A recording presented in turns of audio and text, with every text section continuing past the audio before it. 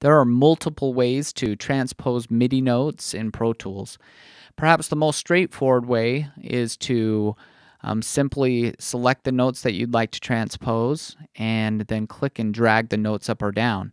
And a little trick is that if you hold down Shift as you click and drag, if you drag up and down first while you're holding down the Shift key, you will see that it'll lock the timing into place as you drag to the notes that you would like.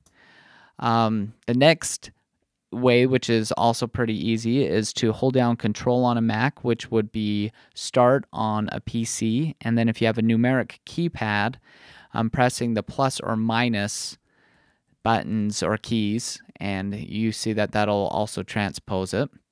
Um, you also have the option to use event operations, which to pull that up is Option T on a Mac or Alt T on a Windows machine.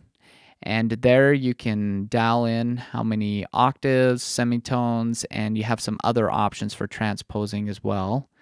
So that's another great option. And finally, another way that I like to use is to use real time properties. And if you don't see this real time properties um, option in your edit window, just make sure you click here and make sure you have real time properties checked there and um, all you have to do is turn it on and you can tell it again octaves or semitones that you'd like it to move. And um, you can easily turn that on and off. And you see as I do that the notes shift. If that isn't happening you just need to go up to your preferences and um, you can change right here in the MIDI tab to display events as modified by real-time properties. But if you don't see them shifting, realize that they are still transposing. You'll hear them back transposed. Now, if you just want to transpose just clips, you don't want to transpose a whole track, another option is to go to your MIDI real-time properties, which is in your events menu here. And this gives you the drop-down option to choose track or just the clip.